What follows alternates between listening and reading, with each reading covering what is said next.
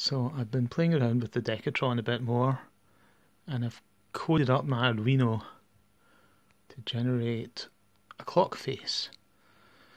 Um, so there's about 30 cells there, so every two seconds it's moving the second hand.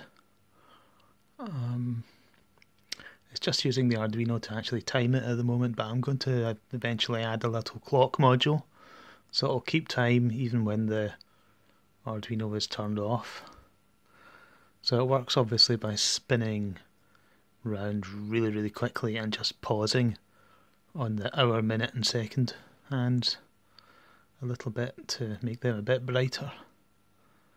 And it, it looks pretty good I think. It's got a little bit of flicker but that's what you expect. It's pretty stable though. So I'm quite pleased with that. I'm going to pan the camera to see whether we can actually see.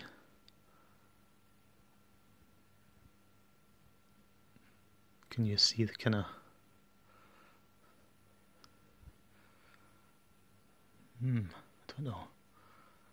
But it's working away quite nicely.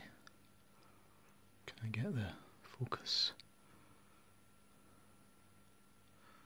It's about as good as it's going to get. So yeah that's it.